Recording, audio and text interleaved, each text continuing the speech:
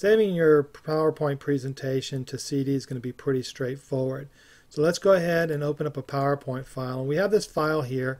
What we want to do is save it to CD. So we click on File, we choose Save and Send, and then down here you'll have Package Presentation for CD. Click on that, and then click on the Package for CD option, and you'll see you can change the name here. You can add uh, additional files if you'd like to do that.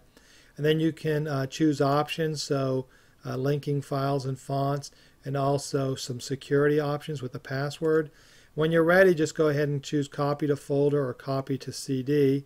I happen to have a folder open, so let's look at the folder and see what that looks like.